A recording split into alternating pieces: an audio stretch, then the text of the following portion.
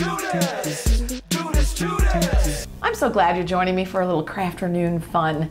It's summer, things are kind of winding down, it's hot outside. You don't want a stressful DIY. This is something simple you can do using things you may already have around the house.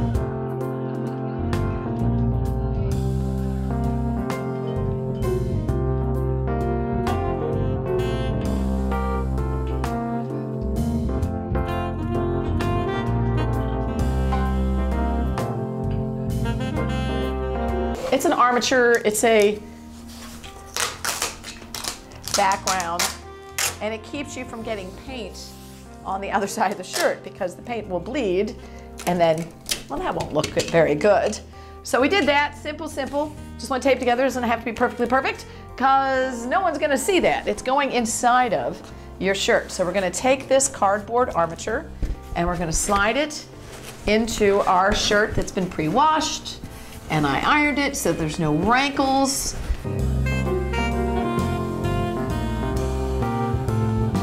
Once you have it placed, you're just going to trace around your bowls very gently with your pencil. You're just wanting to make, basically make a little mark so that you have a plan for the placement of your circles. And again, these are very organic, so it doesn't have to be perfectly perfect.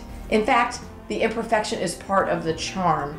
But if you start with a perfect circle, it's easier to make an imperfect circle. Does that make sense? I feel like if you start without it, you just end up with something really weird.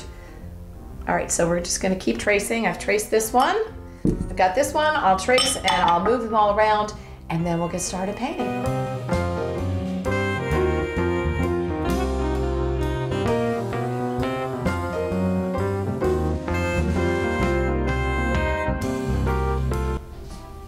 Okay, so I finished my first kind of organic circle. You can see it's not perfectly round, and that's okay.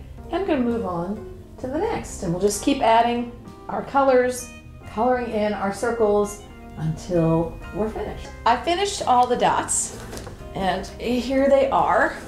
You can see just these big, crazy, oversized dots in these wonderful colors. We're gonna let this dry overnight, and then I'm gonna come back at it. And I think I'm either gonna add some little like black, repetitive sort of accents, or maybe paint splatters, or maybe some other shit. I just think it needs one more thing, and maybe I'm wrong. So we'll see where we are in the morning when it's dry. We'll find out together.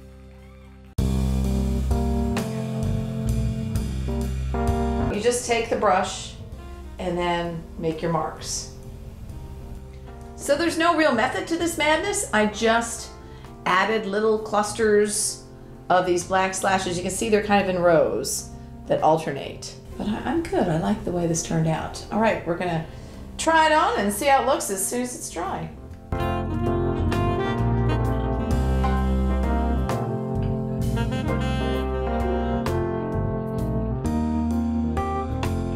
Thanks for watching. I'm Margot Potter. You can find me at margotpotter.com and theretrofab.com. And you can find Plaid at plaidonline.com and find all the things you need to make this project at your local craft store.